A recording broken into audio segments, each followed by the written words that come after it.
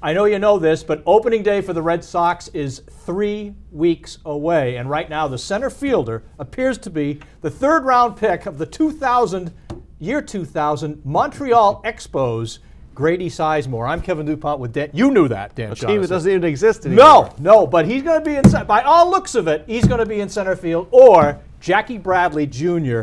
What is your belief, Dan Shaughnessy? Well, you're jumping the gun here a little bit again. Yeah. That's what we do. like three or four games in spring training. Hasn't played a game of any baseball since September 2011. Seven surgeries, back surgery, and didn't even play that well in 2011. the but Peyton Manning ver- version of yeah, sentence. it's on them to see what he is, and that's what you do now. Yeah. The commitment's very marginal, and they don't have Jacoby Ellsbury waiting in the wings. I mean, so this job is up Yeah. for grabs, and if he can be a fraction of the player that he was three, four, five years ago, sure, you give that a long look. It's low dough, it's low risk, and Bradley hasn't demonstrated he can hit the big leagues. But don't be handing over the job to Sizemore just yet because Yeah. he's starting a couple spring training games. Right, it looks to me like so. Let's define his upside. His upside to me looks like excellent center fielder, a 275 hitter, maybe 280 in, in perfect Well, scheme. he was, I mean, he was a 30 30 guy. He could hit 30 home Yep. runs, steal 30. He did that. He was a top five MVP candidate. I mean, he was one of the best 10 players in the American League when, he, was, when he was going. He's still only 31 years old.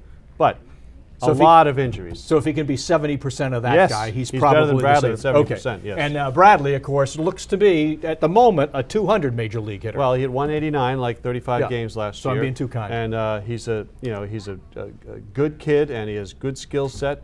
We just don't know what he is as a big league hitter, and of course you can't find out until you let him do it.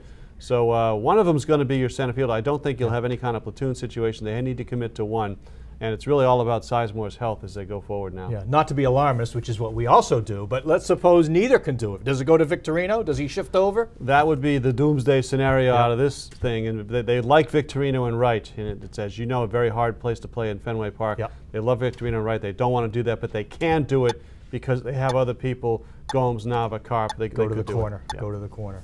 Well, that's doomsday. For now, it's opening day, and it's a toss-up: JBJ or the 2000 round three Grady. pickup of the Montreal Expos. Can't have too many Grady's.